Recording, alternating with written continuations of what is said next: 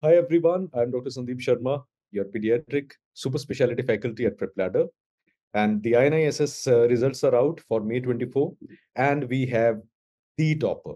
We don't have a topper, we have the topper. Yes, we have uh, uh, rank number one, pediatric oncology, Dr. Shreshtha with us. She has got rank one in pediatric oncology in INISS, and it can't get bigger than this. So it's our privilege to invite Dr. Shreshtha to this interview. So, Dr. Shreshtha, Congratulations and welcome to this interview. Thank you so much, sir. Thank you.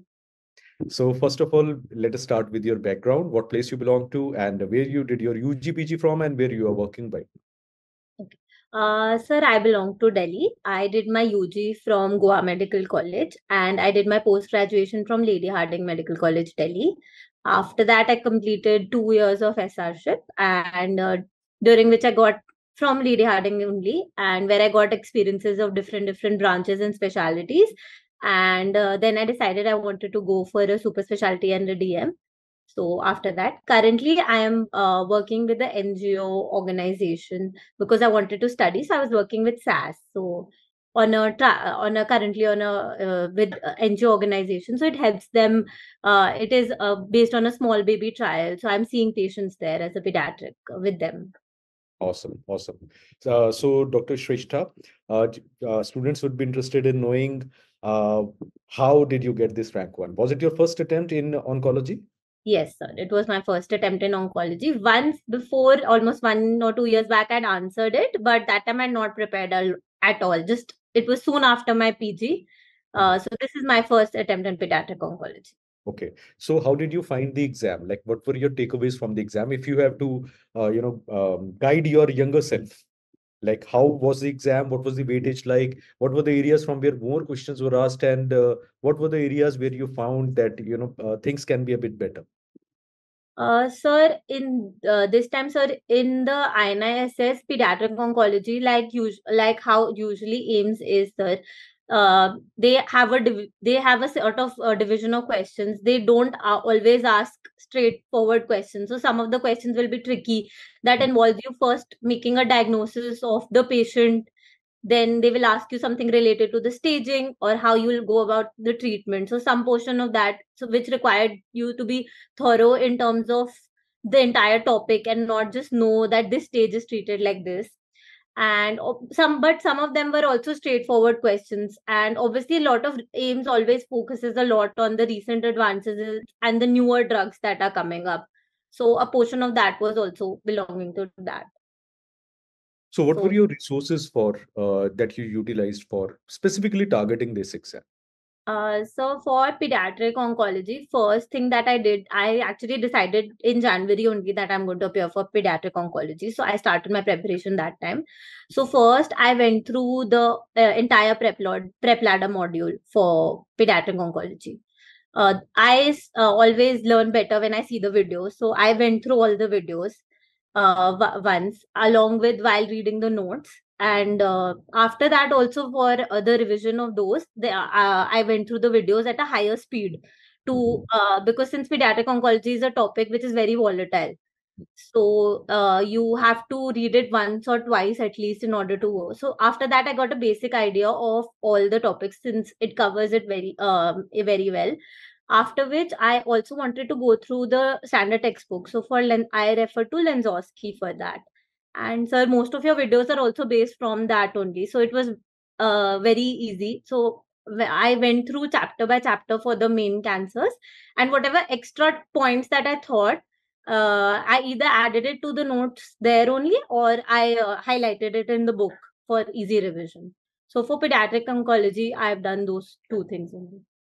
And there are also questions from biostats and uh, some allied things which are not directly asked uh, in yeah. other uh, entrance exam how did you cover those areas uh, so for general pediatrics like aim uh, um, NEET uh, has now become more vast, but AIIMS like to AIIMS has some specific topics that they like to always cover, like IEM, like fluid electrolytes, and in all your videos also you have also always emphasized. So I also tried to pay attention to those topics only that you used to always say that are high yielding, like genetics, like uh, genetics, rickets, IEM, fluid electrolytes. So for those topics, I've gone through the videos of those topics and the notes from prep ladder only since i was short of time. So i did not have time to go through multiple resources.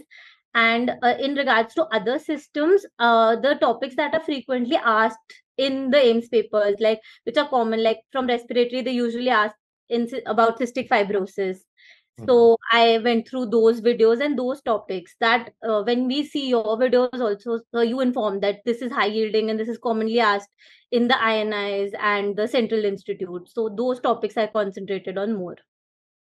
Great. So i think uh, uh you have kept it simple. Prepladder uh, nelson and Lanzkowsky, yes. right? So you did not go into too much of uh, other things and journals and all no i did not go through like for the pals and all those things so you had put videos on the updated versions of those for nrp also the updated version. So i've gone through that only. I've not read the i did not um, uh, whatever things where you told that you can get to know extra points if you refer through the journal only those places. Otherwise i've gone through the videos only. And did you solve mcqs and gts also uh, yes, sir. I used to do the uh, um, MCQ practice regarding so for which from whichever topic that I had read. So after a few days, I used to do the MCQs in order to understand how to retain my knowledge. Okay, and uh, there is also a rule uh, like uh, I know a few Hardenians who have done their MBBS and MD from uh, Lady Hardinge, and they always uh, say one thing, sir. Uh, we get to see a lot. There is a good workload, and that workload also helps us in uh, you know remembering the clinical scenarios better. Your take on this?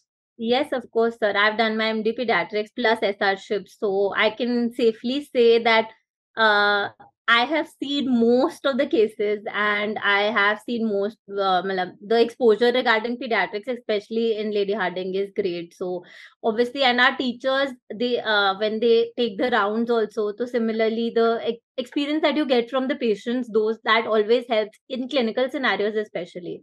Yes. Because you know what is to be uh, done because you have actually done it yourself also the drilling which happens uh, i think uh, we we feel bad during during the rounds but uh, over a long period of time they actually help you in grasping those finer points yes.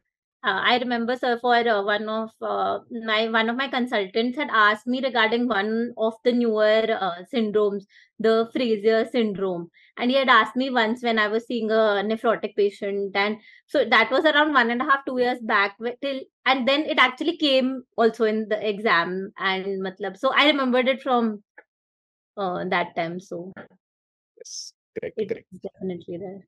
Uh, so uh, see, um, there there is there is a school of thought which also says that uh, when you are targeting pediatric oncology, uh, apart from Lanzkowsky and Nelson, you also need to read the finer details of these chemotherapeutic regimens which are there.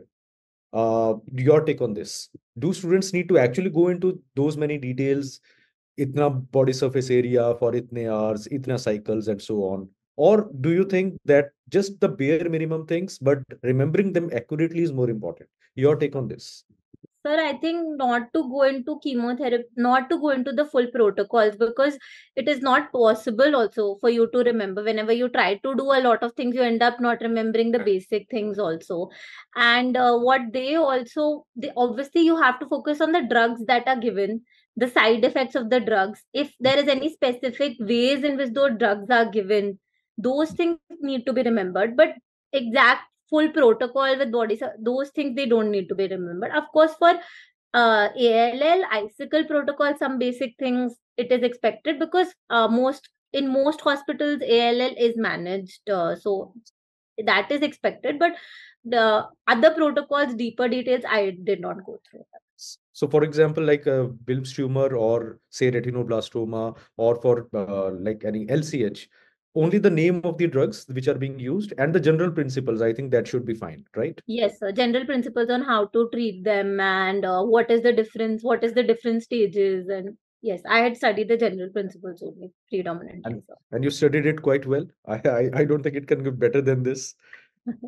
So, uh, so I think so, sir. Let's Yes. See, this is the final entrance exam that you will be giving. Not the final exam. Obviously, there will be more exams coming your way, but this is the final entrance exam. Like after That this, is what I have told all my family members that after this I will stop. giving No more entrance exams after this. That is true. See, you need to end of the day. Yes, family is very important, and I know uh, it is not an individual success. There is also family and uh, blessings and teachers involved. So uh, this is a big success. It can't get bigger than this. People you would like to mention who played a role in your success story. Uh, my parents, my sister, my husband, uh, my uh, my entire family, my father-in-law, everyone has been very supportive. I had actually recently got married in November, so and I Oh. started studying in January. so in January, so it was definitely. Uh, and all my seniors and my teachers, definitely all the teachers uh, who have supported me and have taught me to reach till here, definitely. And so they definitely they're all involved in my Excellent. success. Excellent, excellent. So, uh, we, on behalf of the entire Prep Ladder team, I wish you great success, all the best for your future. Now, you are going to become one of the leading pediatric oncologists of the country, and may you allay the suffering of all these young kids who are suffering from various malignancies. And we do wish you all the very best for your future. Thank you so much, sir. Thank you so much. Thank you, thank you, thank you. The pleasure is mine. But sir, thank you so much. La- I really like to say thank you. Your videos are very concise and they are explained in a very good way and they were very helpful. I I have heard them multiple times, the multiple topics, and it was very good, sir. Thank you so much. Uh, really glad to know that uh, my efforts were of some value in your uh, success journey. And uh, we, we, we uh, see, I always believe in taking some uh, inputs from the people who have given the exam. So based upon your input for your future juniors, uh, we'll be will be incorporating certain more elements in our new version once it comes out. So I'll be uh, needing your inputs regarding what more can be done related to pediatric oncology also. Thank you so much for your time and uh, wish you all the very best. Thank, Thank you you. so much, sir. Thank you so much.